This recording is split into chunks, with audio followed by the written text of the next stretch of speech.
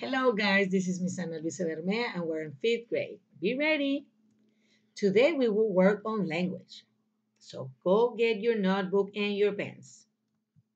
Our class today is teach, learn, let, and live. These are some verbs that sometimes are getting confused. Do not confuse the verbs teach and learn. Their meaning are related, but not the same. Also be careful not to confuse the verbs let and leave. They sound similar, but their meanings are different.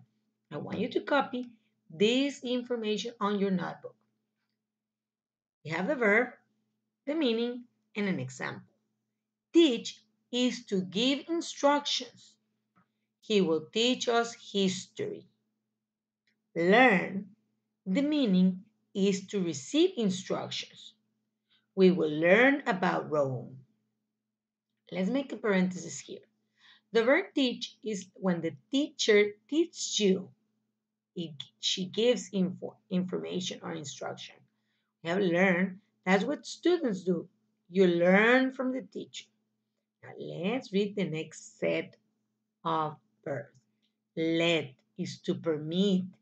Let Kevin go with us. Let me go to the restroom. It's to permit. Leave. Leave has two meanings. To go away from. We will leave tomorrow. Leave the classroom. To let remain in place. Leave it on the table. Leave your notebook on the table. Leave your jacket on the chair. So the word leave has two meanings, to go away and to let remain in place. Copy that in your notebook. Now, this is activity one. This should be in your notebook, okay? Is to evaluate. Which is correct in each sentence? Teach or learn. In the first four sentences, you will use only teach or learn.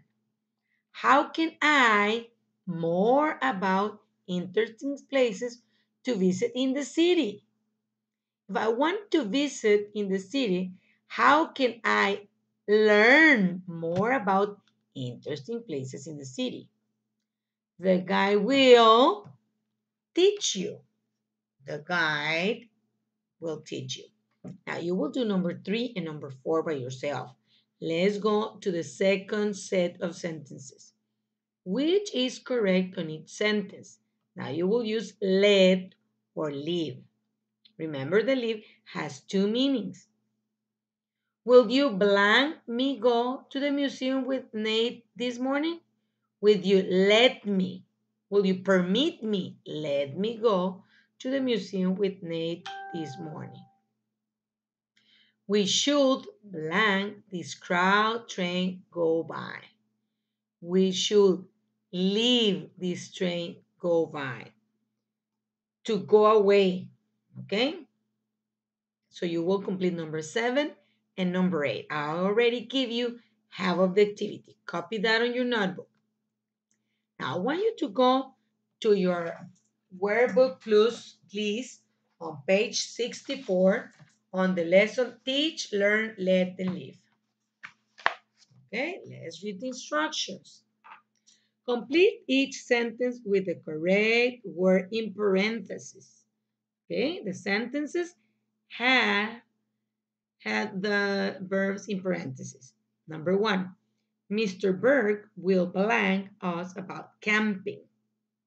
Mr. Berg will teach us about camping. Number two, students will blank about many kinds of camps. We'll learn, students will learn about many kinds of camps. Number three, teachers blank the campers work independently. The teachers let, permit, the teachers permit the campers work independently. So the word is let. You will do by yourself number four, five, and six. I will read them, but you will complete it by yourself. Campers blank to do things on their own. Their parents blank them go to overnight camp. At camp, they blank how to live outdoors. Okay? We will continue with the activity on the bottom on letter B. It is also on page 64. This letter has six errors in the use of teach, learn, let, and live. Use proofreading marks to correct the letter. Dear mom, please let your dogs behind and leave me go to the camp. The counselors will learn us to ride horses. We will learn how to swim. This experience will help me grow and leave me by be proud myself. I will teach so many things by being part of the camp. Please let me show you that this is a good idea. Love Meg. Remember, it had six errors. Okay? Now let's reread number one. It says, please let your dogs behind. It's not let that permit, it's leave to remain in place. So please leave your dogs behind and leave is and let me go. Permit me go to the camp. So I already give you two answers. You have to locate four more. Okay, guys, let's go to the next activity. I want you to look up the map. We have the map, we have the parking lot, the pet playground, the entrance, the bunks, the art sheet, the lockers, the music shed, the cafeteria, the soccer field, and the lake. It is visiting day at camp.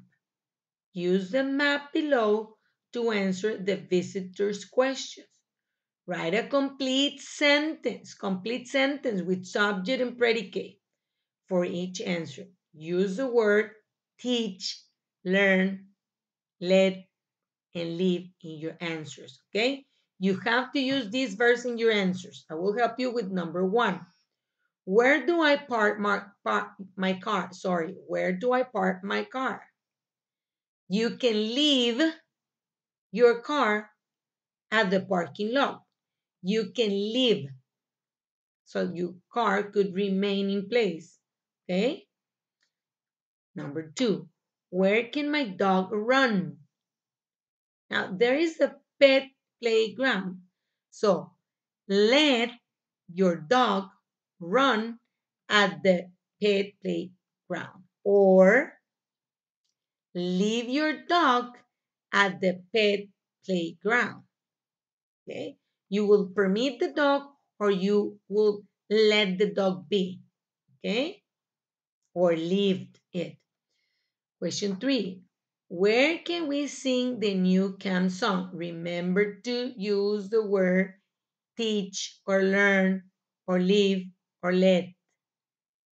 Where can I watch the coach instructing the soccer team?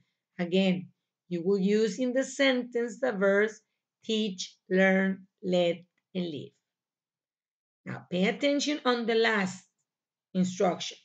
Says now write one more question a visitor may ask. Then write your answer using the verbs teach, learn, let, and live. Right here, you will invent where can I have a snack? Where can I play soccer? Where can my sisters learn art? Where can I find the locker? Okay, or leave my things. Okay, so you will write your own sentence.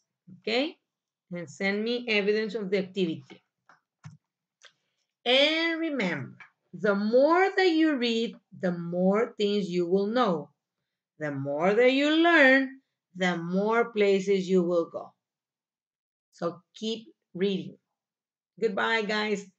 I miss you.